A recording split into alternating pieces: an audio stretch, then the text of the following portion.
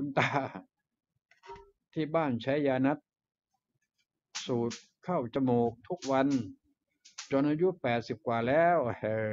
คุณเชฟิโรก็เขานัดกันนะนะเคยกินแล้วไอ้ไอ้ซาบิหรือเปล่า ไม่รู้อาหารญี่ปุ่น ลุงไม่เคยเรียกชื่อถูกสักทีหนึงมันกินอะไรมันออกจมูกออกตานู่นเอา จริงนะออกทั้งตาด้วยนะ นั่นนะครับ ไม่ต่างจากยานัดพ่นเข้าไปปื๊ดกืดเลยลุงก็ไม่เคยใช้ยานัดนะยกเว้นเอามาขยี้ที่แล้วว่าดมๆหน่อย เออก็หอมดีเหมือนกันนะแต่ไม่เคยเป่าเข้าจมูกนะครับอันนั้นลุงไม่เคยใช้นะยานัดนะครับ แต่คนที่เขาใช้ อายุตั้งแปดสิบก็ยังใช้สบายๆเลยถ้าหากว่าไปเจอหมอใช่ไหมโอ้ยเป็นอันตรายนู่นนี่นั่น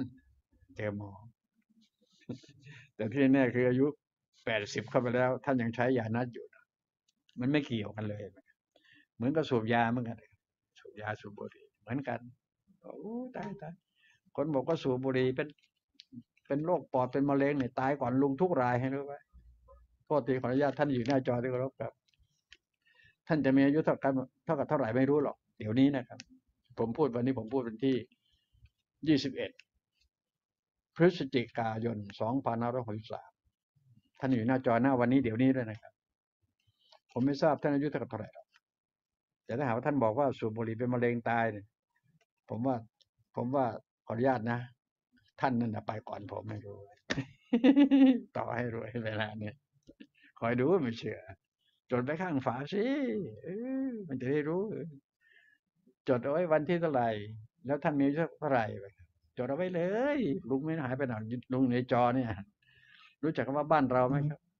บ้านเราคือว่าบ้านหลังนี้ผมสร้างขึ้นมากับมืออะเออ บ้านเราทีวีเขาจะอยากลุงลุงกับคณะทำงานสร้างมากับมือเลยเออคำว่าบ้านเราเนี่ยโอ้โหชื่อมันเลยตั้งชื่อก็บอกแล้วบ้านเรานะบ้านเราสร้างกันมากับมือเราโว้ยไม่ถอนสมองง่ายๆอยู่แล้วนะครับโอเคนะ เพราะฉะนั้นตามไปเรื่อยนะครับ โอเคดีครับ ที่แต่ถามว่ายานัดยานัดถ้าถามหมอเขาบอกเขาบอกอันตรายแน่นอนนะครับ ถ้าถามลุงมึงน่ะตายก่อนกูกูนี่แปดสิบแล้ว ประมาณนั้นนะครับ โอเค